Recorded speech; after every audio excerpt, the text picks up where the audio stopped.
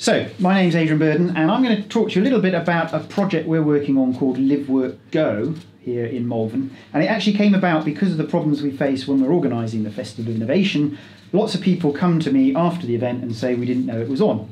And so there's clearly a problem with disseminating the fact that events are on in towns and making sure everybody that wants to come and take part and enjoy them hear about them in good time.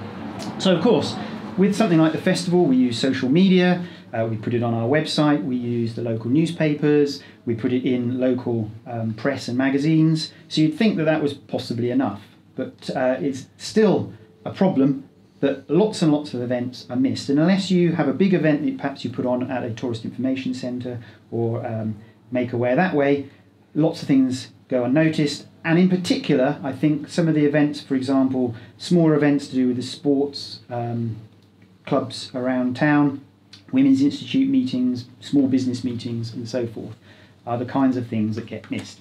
So, we've put together a web application called Live Work Go, and the premise behind this is that it is a way of finding events in areas where you live, where you work, and where you go. And what we've done is we've split the world, at the moment, the UK, up into hexagons, uh, like a honeycomb, and each of those cells is about 10 miles in, in uh, width and height. And the idea is, is that those hexagons get populated with events that are on. Now, there are event aggregation apps, and of course, there are web based services like Eventbrite and Meetup that propagate information about those particular events. But if you don't use those services, then there's no way of finding those other events. And what we're trying to do with this platform is have a crowdsourced approach to putting events on on the system so that people can find out about them. So the way Live Work Go works is that each hexagon has a group of champions working within them. So these are the local stakeholders and people that are busy within those communities, either organising events or looking after venues where events are held. And the idea is that on the platform they can add events that they hear about, and when they do that, they get rewarded with, in this case, we reward them with virtual gems and jewels. Um, and the more that they get, the more permissions they will have in the future to look after the events, and they rise up as a champion within that cell or within that little bit of community. So the events are put onto the website, and we also aggregate from the other platforms like Eventbrite and Meetup where we can. So overall, the aim is to make something like this the one go-to place where you look for events that are happening.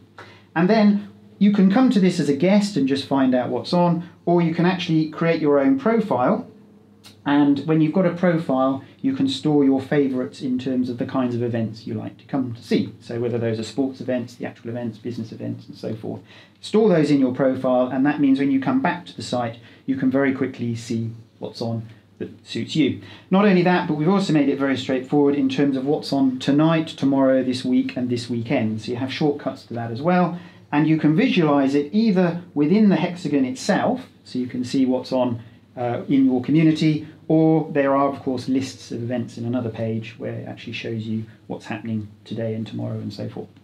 So the whole idea with the platform is that it only really shows you the events are on that are on in the area that you're interested. One of the other big problems with event um, web applications and aggregation engines is that if you look at what's on, you find out everything that's on in the sort of 100 square miles and the big cities that you live nearby rather than your own little hyper-local community. So we're busy now testing this in Malvern. Uh, we've lit up certain hexagons where we're busy populating it with events, so that's Worcester, Ledbury and Malvern and those sort of 10 mile areas. Uh, we're busy putting events on. People can start adding uh, their own events, they can create their own profile and start experimenting with it. And then over time, once we've got a critical mass within these hexagons, it's going to be working suitably for that community. We can start opening up other hexagons um, around the country and wherever there are champions that want to take it forward.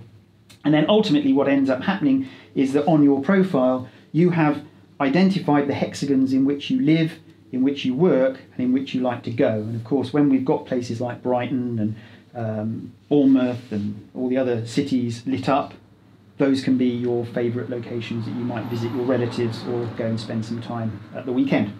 So Live Work Go, liveworkgo.com is the website. Uh, we're very keen to get feedback now as we're sort of rolling this out.